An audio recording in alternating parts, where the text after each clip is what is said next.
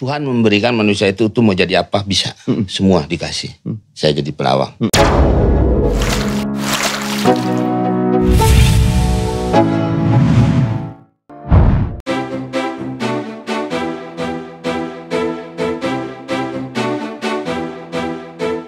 Siapa yang tak kenal dengan sosok komedian yang satu ini? Sejak tahun 90-an, nama Komeng sudah mulai dikenal di industri hiburan tanah air. Tak heran jika dia menjadi sosok orang sukses dan kaya raya saat ini. Semua itu berkat kerja kerasnya yang tidak pernah pudar dari dirinya. Bahkan ada kabar mengejutkan. Katanya nih, Bang Komeng memiliki koleksi kendaraan mewah yang tidak hanya satu unit saja loh. Widih, keren gak tuh? Jelas keren dong. Kira-kira apa saja koleksi kendaraan mewah milik Komeng? Sekarang sudah bergelimang harta. Intip koleksi kendaraan mewah dan kekayaan Komeng.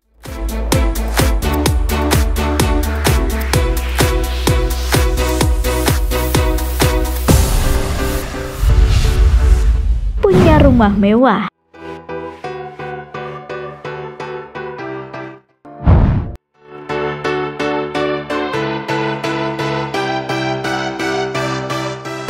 Alfian Syah Bustami yang lebih dikenal dengan Komeng merupakan salah satu komedian senior tanah air era 90-an yang hingga hari ini masih tetap aktif di dunia hiburan. Tentu membutuhkan perjuangan besar agar Komeng bisa tetap bertahan hingga kini. Dari hasil kerja kerasnya itulah Komeng membeli rumah untuk dirinya dan keluarga. Mengintip unggahan video di kanal YouTube John Jawir yang diunggah pada Mei 2019, rumah Komeng ini terbilang luas dan megah.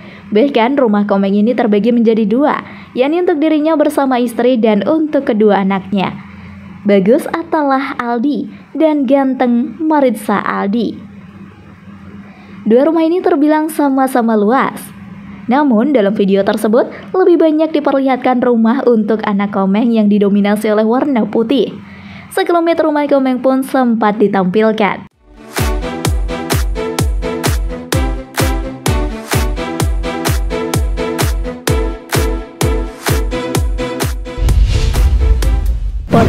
Keseluruhan rumah Komeng.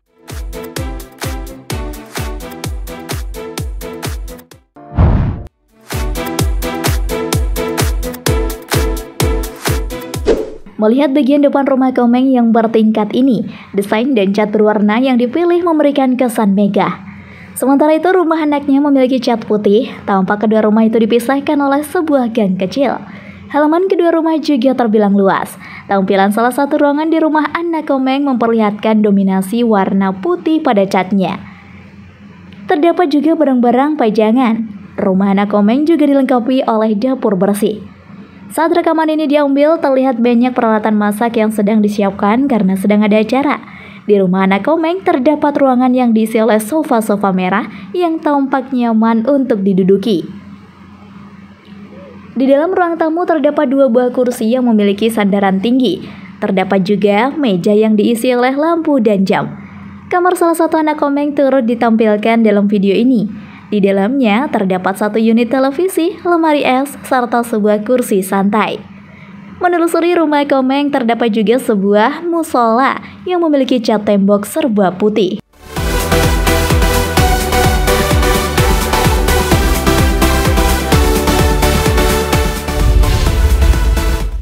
Karir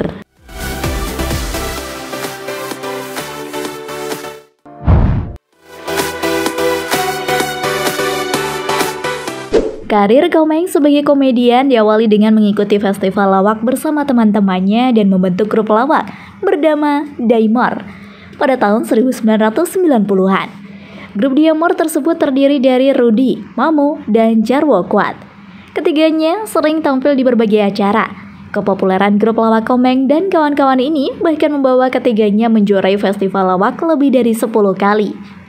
Jika Anda menyukai video ini, silahkan klik like dan subscribe untuk mendapatkan video update terbaru dari kami.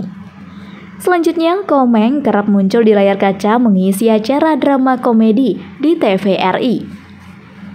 Lalu ia dipercaya untuk mengisi beberapa program komedi seperti Kompor Diamor di TPI tahun 91 dan Opera Diamor di TVRI tahun 91 sampai 95. Namanya kian melesat ketika membawakan program acara spontan di SCTV dan Trans TV tahun 95 sampai 2003 pada SCTV dan 2003 sampai 2004 Trans TV. Hingga saat ini tahun 2022, Komeng masih terus eksis membintangi beberapa program televisi, di antaranya Gokil, Ini Ramadan, dan Komedi Oke Deh.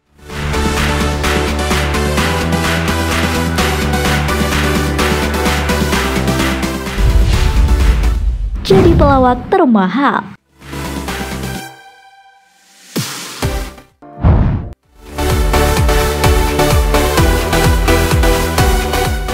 Nama besar Komeng di panggung hiburan membuat Komeng dianggap pelawak legenda oleh masyarakat Indonesia. Tentu tidak mudah masyarakat melabelkan Komeng sebagai pelawak legenda dengan banyolan-banyolan yang bisa mengundang tawa yang bisa untuk didengarkan. Pahit asam manis kehidupan karir di panggung hiburan khususnya dunia lawan. Sudah dirasakan oleh Komeng selama lebih dari 20 tahun berkarya. Namun, pria bernama asli Alfian Syah Bustami tidak merasa bahwa dirinya adalah pelawak legenda. Karena dianggap pelawak legenda, muncul sebuah kabar burung kalau pria berusia 50 tahun dianggap sebagai pelawak termahal di Indonesia. Akan tetapi, ayah dari tiga anak itu tidak merasa kalau ia adalah pelawak termahal di tanah air. Suami dari Apriliana Indra Dewi itu justru merasa salah satu pelawak yang tidak giat bekerja dan menerima semua pekerjaan yang televisi.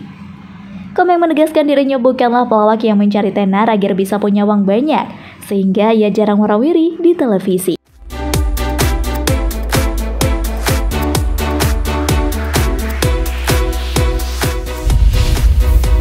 Koleksi kendaraan milik Komeng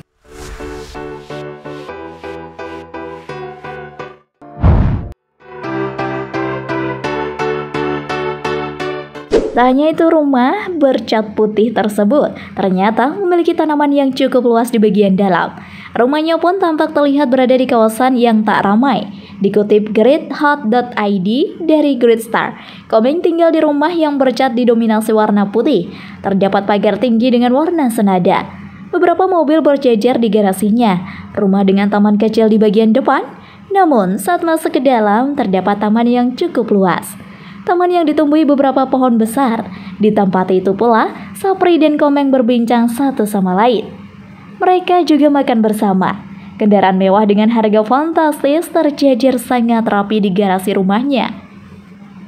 Semua itu hasil dari kerja kerasnya Komeng di industri hiburan tanah air dan juga ditambah dengan beberapa bisnis yang ia geluti bersama dengan sang istri dan juga anak-anaknya. Hmm, ternyata jarang tersorot, eh malah langsung bikin melongo.